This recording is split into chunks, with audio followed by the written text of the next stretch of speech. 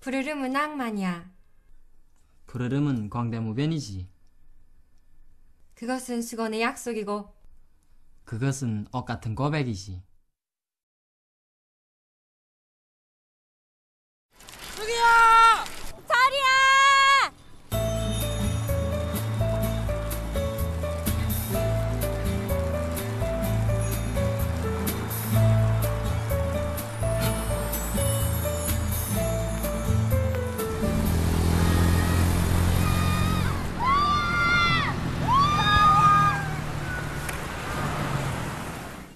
우리가 배운 이상이 뭐야?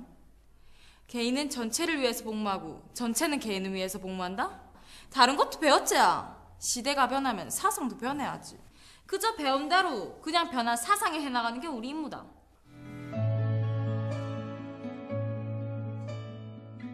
넌 지금 많이 변하고 있다. 예전에 그 처리가 아니다. 넌 얼마나 소박하고 열정적이고 뜨거웠니? 무슨 원인이야? 갑자기 이기적이고 대표적이 된 건 무엇 때문이야?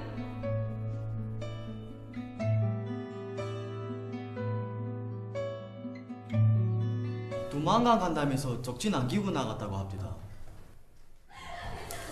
선생님, 전 지금 도망간 가겠습니다.